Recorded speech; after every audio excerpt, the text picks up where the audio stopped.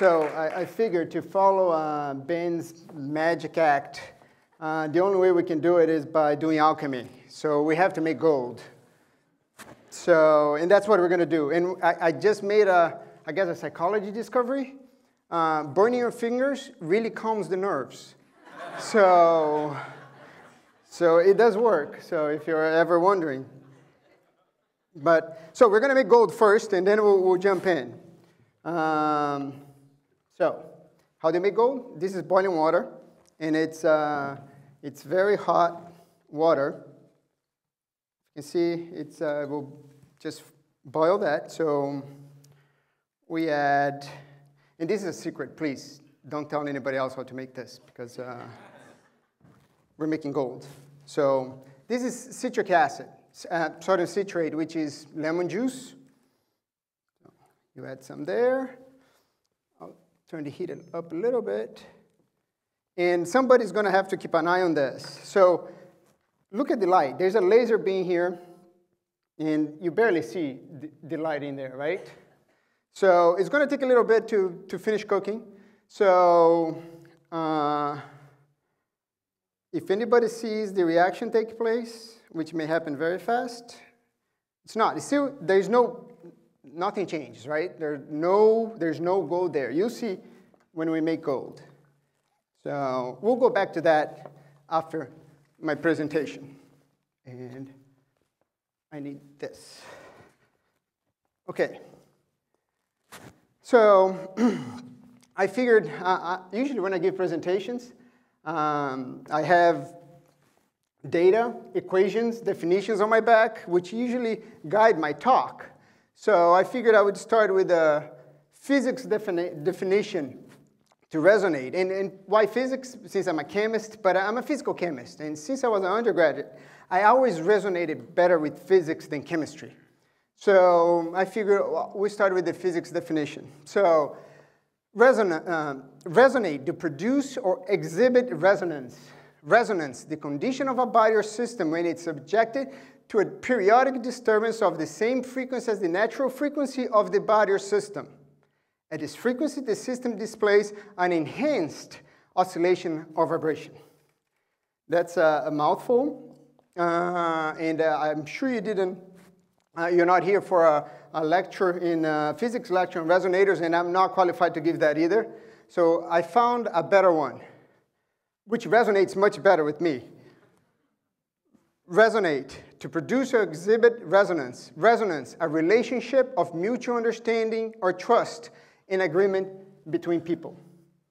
So my goal here, and I'm going to show some science, is by the end of my presentation to have these two definitions to resonate. So, so what do I do? Why am I here? I'm here because I levitate cells.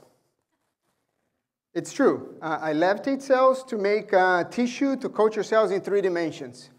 Why do we care about that? Uh, yes, we do know how to, to, to culture cells, to grow cells. We take uh, a petri dish. We've known, we've known this for, for decades. Add the, the cells in your petri dish. They go to the bottom. They attach to the bottom of the plastic. And, and they grow. And they grow on this flat surface. And since it's flat, it's two-dimensional. That's why we call two-dimensional cell culture. But today there's a paradigm shift in biology that we understand that tissue, the body, if you pinch yourself, you're not two-dimensional, you're not flat. Cells are interacting with, uh, with other cells of the same type or different types. And now we understand that this 3D environment really defines the biology, biology of tissue. So, and this is, you don't have to be a scientist. This is a 2D culture, flat.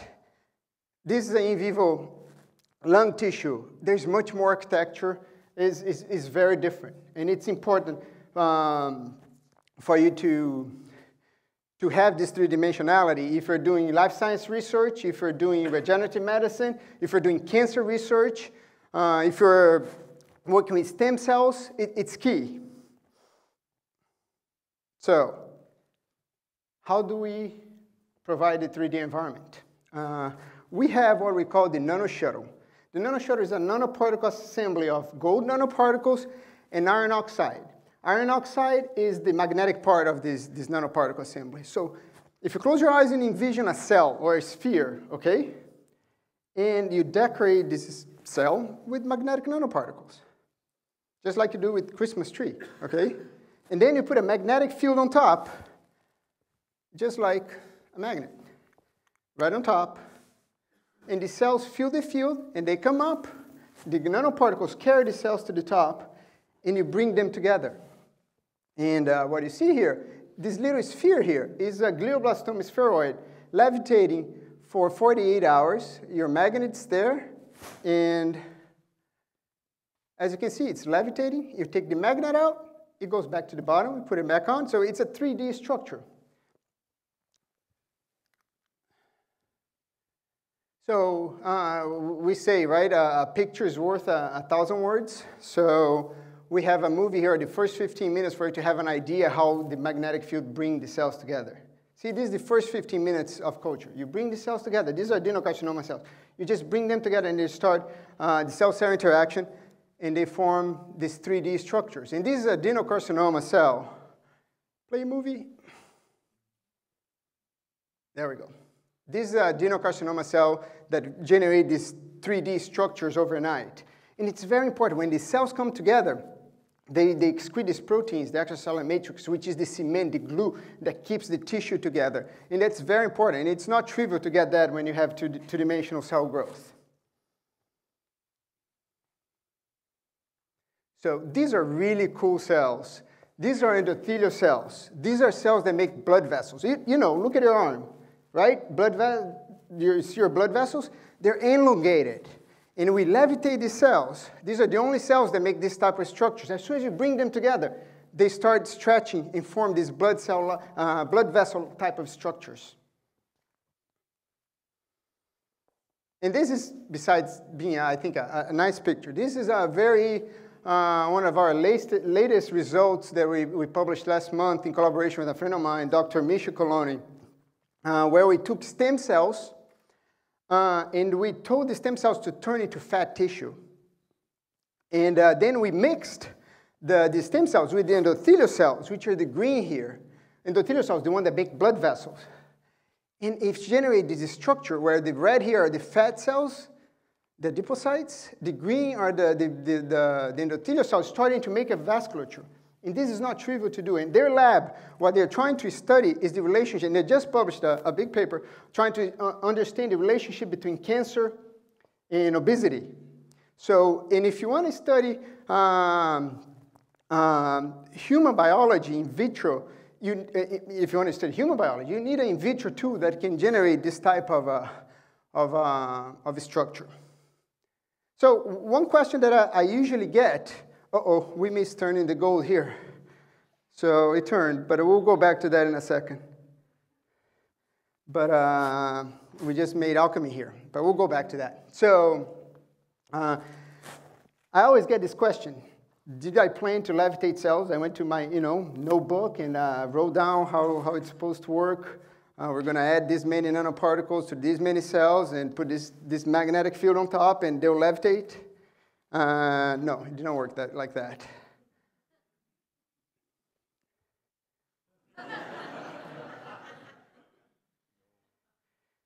That's how it started. Water polo. Seriously? Who hasn't had a water polo inspired idea? All right.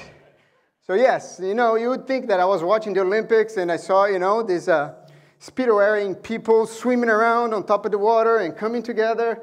And I'm like, that's what I want to do with my cells. I want to bring them together. So, no. Three of us play water polo. Four of us, three of us are play water polo. Three of us are scientists. Four of us are friends and four of us like beer. So a lot of our ideas did come by hanging out and uh, interacting and writing things on a, on a napkin. Actually, I have the napkins. Um, and, uh, and this is where the life resonating aspect comes in. When you have multiple, and I'll use you know, scientific language, multivariables resonating in the same system, you have this magnified signal. And we're very different. We're a very different cultural background, uh, very different personalities, uh, very different scientific areas. Uh, I'm a physical chemist, Tom is a physicist, uh, Rob is a, a biophysicist, Dave is a, is a business guy that actually we, we have a company, which is N3D now. But uh, the key catalyzing factor was water polo. If it wasn't water polo, we wouldn't be here. And uh, because we're from such different scientific areas, because we're resonating on these different aspects, we were able to make this a very productive project. So, and that's where my life uh, definition goes in. And now we have to, to make the two resonate. So it's going to get a little complicated, but just bear with me. And uh, so, if anything, from this, this next few slides, this is true in physics and physical chemistry. When there, you have many resonating events, you have this enhanced signal. And this is what we show here. This is a surface enhanced Raman spectrum of a molecule imidazole. And we know peaks. You know when you have a large peak, it's a large signal. So this signal here is a billion times larger than a, this little bump here that is right on the, on the bottom. And why? Because you have these nanoparticles that resonate with these molecules, that resonate with light, and we get this huge signal amplification. So there are several events resonating. And uh, we'll break down quickly here. We have your light, you have your nanoparticle, and you have this snowman-like molecule there, right? It's a five-member ring molecule sitting, and you have a nanoparticle right there, a nanoparticle right there, and it's vibrating, right? And they can vibrate like this, they can vibrate like this, they vibrate like this, like that. They do, it's, it's true. So they're vibrating like this, and um, and the light comes in, right, which is electromagnetic wave, and hits the nanoparticle. And the nanoparticles, metal nanoparticles, gold nanoparticles, on, their surface, they, they have what they call surface plasmon. That's where the, the electrons live. And because the light's an electromagnetic wave, when it has the right frequency that resonates with the surface plasmon, you get what is called the surface plasmon resonance. So the light transfers the energy to the nanoparticles.